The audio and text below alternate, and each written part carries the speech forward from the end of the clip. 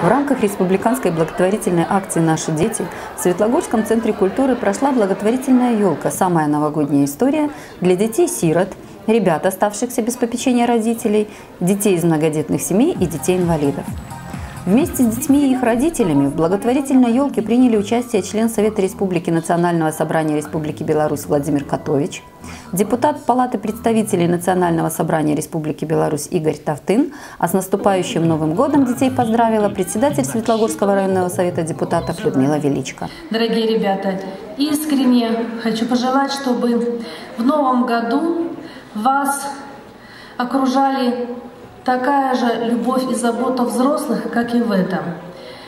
Я хочу пожелать, чтобы вы сохранили и приумножили свое здоровье, чтобы в ваших семьях, где вы растете, где вы живете, был мир, покой, любовь и согласие.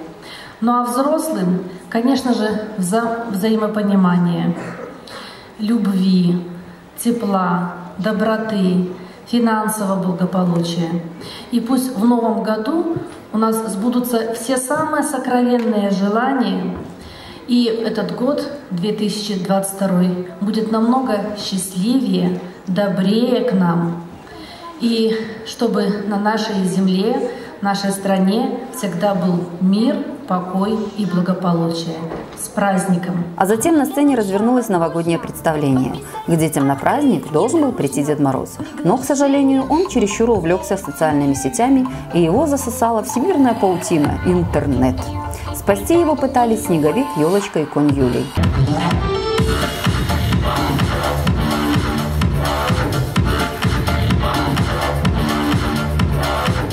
Герои попытались обвинить в случившемся бабу Йогу, но оказалось, что она уже давно превратилась в бабу Йогу и стала спокойной и доброй.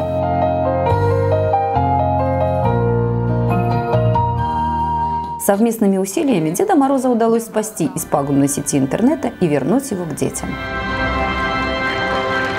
Я летел на крыльях ветра много тысяч километров – в финале счастливой истории спасения Деда Мороза прозвучала песня в великолепном исполнении воспитанников эстрадной студии «Лира». А после новогоднего представления дети фотографировались с Дедом Морозом и другими действующими лицами зимней сказки.